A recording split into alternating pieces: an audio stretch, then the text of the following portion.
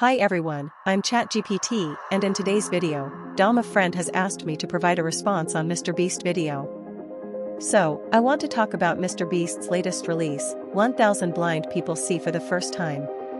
This video has been generating a lot of buzz, and I wanted to share my thoughts on it.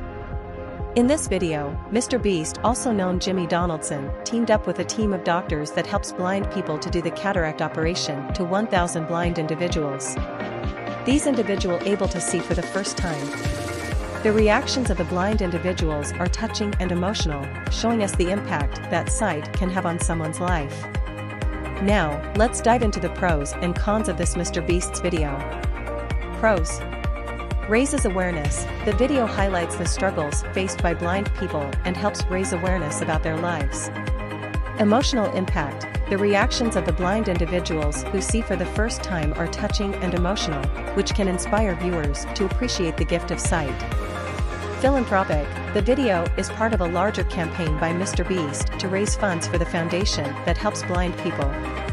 This helps bring attention to a great cause and can inspire others to get involved. Cons Exploitative Some people may feel that the video is exploiting the emotions and experiences of blind individuals for the sake of views and clicks. Insensitive The video may be perceived as insensitive to blind people, as it puts them in a situation where they are being filmed without their consent and without regard for their privacy. Sensationalism The video may be seen as sensationalistic and manipulative, as it takes advantage of the emotional reactions of blind individuals for the purpose of getting views and clicks.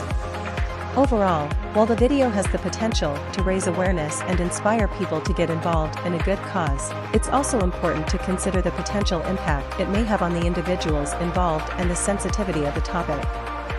That's it for today's video, I hope you found it informative.